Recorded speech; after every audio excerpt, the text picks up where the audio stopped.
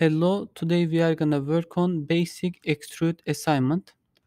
The first thing we need to go to document menu and we need to go to workspace units and we need to change the units. Millimeter, decimal, two point decimal, um, degree, display, default, mass, supposed to be gram, and that's it. And we are going to click.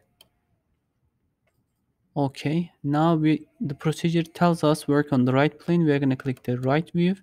We can click the n button or we can click the right uh, on the cube. Does the same job actually.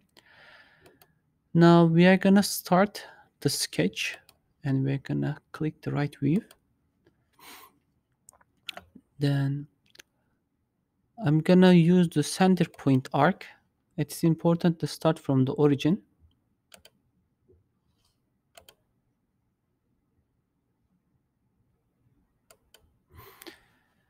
And dimension of the this arc is supposed to be 30. Now I'm going to use the line tool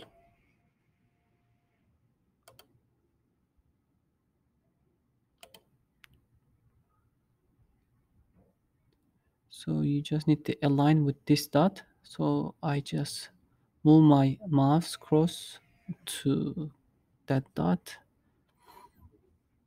And there we go. And we're gonna just complete it. So we just need to put one dimension. Either we can put the dimension of this or this one. So you can use the this uh, tool or you can click the D button. It's gonna automatically activate the dimension and this size supposed to be 80 now the sketch is fully constrained because the color turns to black. I'm gonna click the finish sketch. And then I'm gonna choose the entity and I'm gonna click the extrude. And it tells on the procedure extrude with 10 millimeter on the blind. So I'm gonna click the 10 and complete it.